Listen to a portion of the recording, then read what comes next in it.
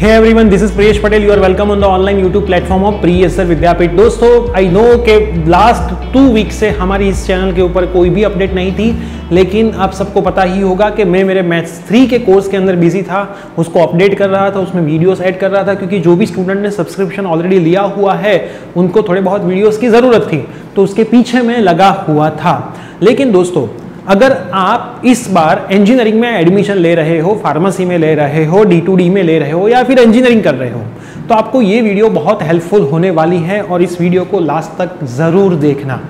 और मैं ट्राई करूँगा कि अब से हर एक वीक में तीन वीडियो मिनिमम हमारी चैनल के ऊपर आएगी, जो आपको at least engineering pharmacy diploma degree कुछ भी आप कर रहे हो, उसमें सपोर्ट करती रहे और जीटीयू के जितने भी सर्कुलर है, हम यहाँ पे डायरेक्ट लाइव सेशन करके जीटीयू के सर्कुलर अपडेट कर देंगे। दोस्तों सिंपल और उससे पहले अगर आपको इंस्टेंट अपडेट चाहिए तो नीचे इंस्टाग्राम की लिंक और टेलीग्राम की लिंक हमारी दी है। इंस्टाग्राम प्रिय सर विद्यापीठ सेम नाम, और टेलीग्राम प्रिय सर विद्यापीठ आप हमें वहाँ पे फॉलो कर लेना। तो अगर वीडियो ना बन सके तो आपको वहाँ से भी नोटिफिकेशन मिलती ही रहेगी। देखो दोस्तों, बहुत सारे प्लेटफॉर्म के ऊपर या फिर बहुत सारे कॉलेज में जब आप जाओगे, तब आपको ऐसा कहा जाएगा कि इंजीनियरिंग के दौरान आप ये कर लो, आप ये सीख लो, ये सीख लो, वो सीख लो। आपको जॉब में बहुत हेल्पफुल होगा। कभी कभी तो मैंने ऐसा भी सुना है कि आप केमिकल ब्रांच के हो तो आपको कंप्यूटर के कोडिंग सिखाते हैं। या फिर आप मान लो मैकेनिकल ब्रांच के हो तो आपको कंप्यूटर के कोडिंग सिखाते हैं। या फिर आप केमिकल ब्रांच के हो और आपको कोडिंग सिखाते हैं। कोडिंग में सी सी प्लस प्लस जावा या फिर एप्लीकेशन कैसे डेवलप करे, ये कैसे करे, वो कैसे करे। जरा ध्यान से आप सोचो लॉजिक समझो। अगर आपने मैकेनिकल ब्रांच में एडमिशन लिया है तो आप कोडिंग क्यों सीख रहे हो? अगर आपको कोडिंग ही सीखना था एप्लीकेशन बनाने का कोडिंग या फिर कोई भी कोडिंग हो, कोई सॉफ्टवेयर डेवलपमेंट का कोडिंग वेबसाइट डेवलपमेंट का कोडिंग तो फिर कंप्यूटर आईटी में एडमिशन क्यों नहीं दिया भाई लोग आपने?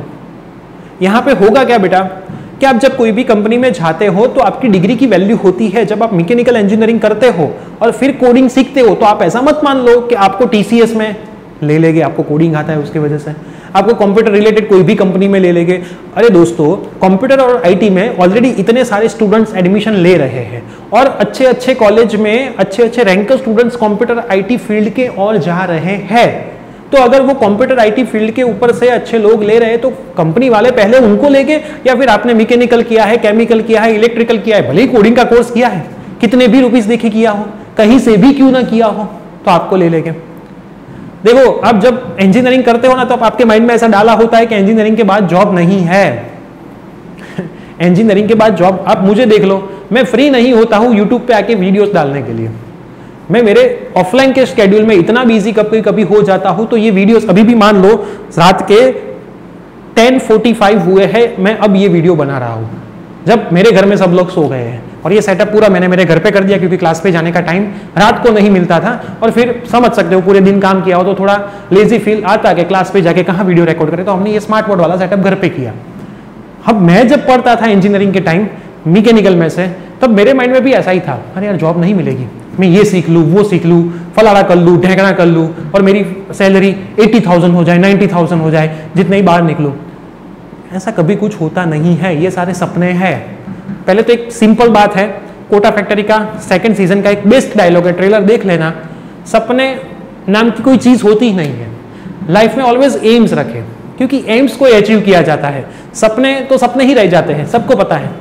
और हम लोग सपने देखने में तो बहुत माहिर है। देख लेते बड़े बड़े सपने, फिर होता तो कुछ नहीं होता है। करने जाए तब कुछ नहीं होता। हाँ कहीं पे कोई एडमिशन लेना है, चालीस हज़ार, पचास हज़ार भर के ये सब सीखने का तो भर पहले देते हैं। ओहो, इसको जॉब मिल गई, उसको जॉब मिल गई, उसको मिल गई। अरे भाई, तू जो फ़ील्ड में है, उस फ़ील्ड में भी तुझे अच्छी अच्छी जॉब मिल सकती है तो फिर उस फ़ील्ड में जाने से टाइम वेस्ट करने से क्या फ़ायदा है? अब जब मैं कॉलेज में था, तब मैंने मेरा गोल डिसाइड कर लिया था कि भाई मैकेनिकल इंजीनियरिंग के बाद मैं प्रोफेसर ही बनने वाला हूँ।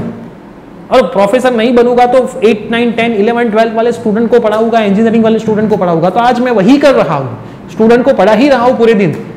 तो और मैंने मैकेनिकल किया है तो मुझे ऐसा नहीं कि मैकेनिकल में जॉब नहीं है। कोई भी ब्रांच ऐसी ले लो जिसमें जॉब नहीं है, ऐसा अगर कोई बोलता है तो मेरे पास ऐसे बहुत सारे स्टूडेंट्स हर बार यहाँ से हमारी एकेडमी में से पास आउट होते हैं, जो इंजीनियरिंग के क्लासेस कोचिंग में आए होते हैं, और वो लोग बहुत अच्छे अच्छे रिज़ल्ट के साथ निकलते हैं कंसेप्ट के साथ निकलते हैं। और और और, सुनना ध्यान से, और अच्छी अच्छी जगह पे एडमिशन लेते हैं। विश्वकर्मा का मेरा एक स्टूडेंट है। उसने विश्वकर्मा में से इंजीनियरिंग किया। नहीं कोई बार कोचिंग सेंटर में गया। हमारे वहाँ पे वो आता था, वो मेरा, मान लो एक्स्ट्रा ऑर्डिनरी स्टूडेंट था, मैं उसको थोड़ा बहुत पढ़ाता था। उसके बाद मैं तो कंप्यूटर इंजीनियर हूँ नहीं, मैं तो मैथ्स वाला सर हूँ। तो मैंने उसको मैथ्स पूरा समझाया था वन टू फोर में। उसने मैथ्स में ए ग्रेड सभी ब्रांच में आए। उसके बाद उसने तो कभी सी सी प्लस प्लस जावा किसी भी लैंग्वेज का कोचिंग कहीं पर नहीं रखवाया। हाँ उसके फ्रेंड्स थे, उसको ज़रूरत पड़ती थी, उसके लिए थोड़ा प्रॉब्लमेटिक था तो उन लोगों ने कोचिंग रखवाया। ऐसा नहीं था कि कोचिंग नहीं रखवाया, उनके फ्रेंड्स लोगों ने। हाँ उनको, वो एक्स्ट्रा ऑर्डिनरी स्टूडेंट था तो उसने नहीं रखवाया। लेकिन उसके कॉलेज में थोड़ा बहुत तो उसको गाइड करते थे। तो बाकी का वो खुद भी सीखा। ऐसा नहीं कि हर बार दूसरी जगह पे जाके ही आप कुछ ना कुछ सीख सकते हो। और पहले सेमिस्टर वाले स्टूडेंट सेकंड सेमिस्टर वाले अगर आप स्टूडेंट हो थर्ड सेमिस्टर हो फोर्थ सेमिस्टर तो इस सेमिस्टर में तो आपको आपके कॉलेज के छह सब्जेक्ट के अलावा और कुछ भी चीज़ें करनी नहीं चाहिए। सिंपल है। आप उस छह सब्जेक्ट को पूरा दो।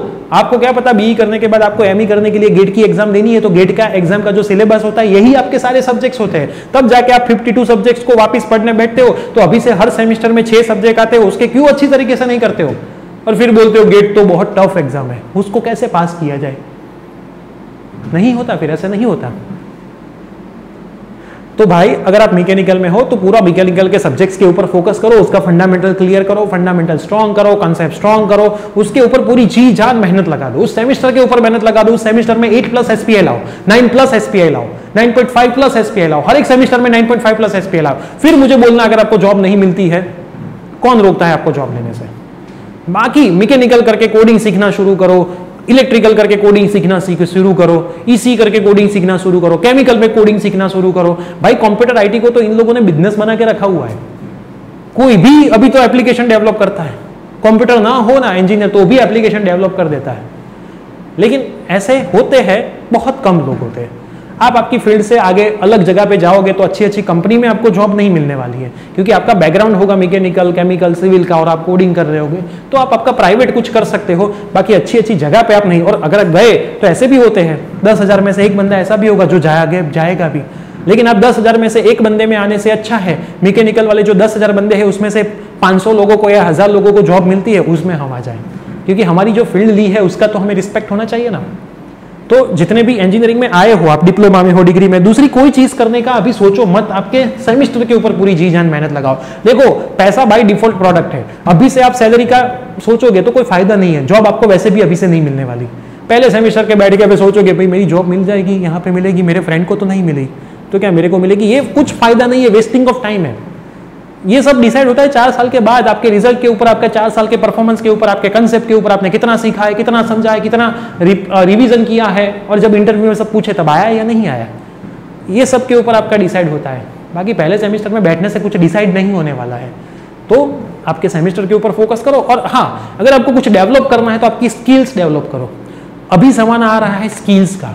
आपके पास कितना भी नॉलेज क्यों ना हो, लेकिन आपके पास कोई स्किल ही नहीं है उस नॉलेज को रिप्रेजेंट करने की, उस नॉलेज को बाहर लाने की तो कभी नॉलेज आपको काम में नहीं आने वाला है।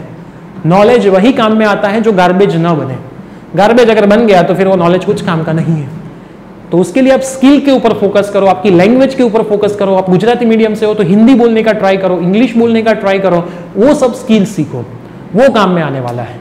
उसके ऊपर आप अप्रोचेस करो उसके ऊपर अगर पैसे लगाने हो तो उसके ऊपर पैसे लगाओ और उसमें से कुछ ना और जहाँ पे आप पैसे लगाते हो, मान लो वो हंड्रेड रुपीज़ भी क्यों ना हो? मैं मेरे इंग्लिश स्पीकिंग के कोर्स में जो स्टूडेंट्स हमारे भूमि मैडम का कोर्स है, उसमें जो ज्वाइंट होते हो, भले उसकी प्राइस दो सौ रुपीज़ हो वन फिफ्टी रुपीज़ हो, तीन सौ हो, साढ़े तीन सौ, मैं उनको बोलता हूँ कि वन फिफ्टी रुपीज़ है, दो सौ रुपीज़ है टू फिफ्टी रुपीज़ कोई बड़ी अमाउंट नहीं है। उतनी अमाउंट से तो डबल या तीन गुनी अमाउंट तो हम एक मूवी देखने जाते हैं, तब खर्च करके आते हैं। और शायद उसके ज़्यादा रुपीज़ का तो रोज का पेट्रोल हमारा जाता होगा। लेकिन उस 140 या 200 रुपीस में से डिसाइड करो कि मैं इंग्लिश सीखूँगा और उस इंग्लिश में से पर मंथ बीस हज़ार, पच्चीस हज़ार, तीस हज़ार, चालीस हज़ार वाली जॉब लूँगा। तब जाके वो दो सौ रुपीज़ आपके सक्सेसफुल बनेंगे, वरना वो दो सौ रुपीज़ वन डेढ़ सौ रुपीज़ हो तीन सौ रुपीज़ वो भी वेस्ट ऑफ़ मनी आपके बनेंगे। तो कुछ जब आप देते हो, उसमें से मल्टीप्लाई बाई हंड्रेड बाहर निकालने की आपकी कैपेसिटी होगी तो ही वो आपके लिए वर्थ होगा। तो आई होप मैं कौन सा संदेश आपको देने चाहता था? स्टूडेंट पूछते थे कि मैं एडमिशन लू, न लू, क्या करूँ, क्या ना करूँ?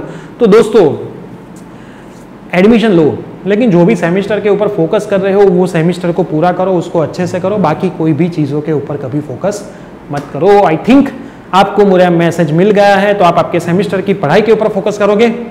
अभी भी चैनल को सब्सक्राइब ना किया तो चैनल को सब्सक्राइब करके पास में जो बेल आइकन है उसे प्रेस ज़रूर करें, अपने सारे फ्रेंड्स में इस वीडियो को शेयर करें और साथ में इंस्टाग्राम और टेलीग्राम प्रिय सर विद्यापीठ सेम नाम से अकाउंट है। डिस्क्रिप्शन बॉक्स में उसकी लिंक दी गई हमें वहाँ पर भी फॉलो कर लीजिए।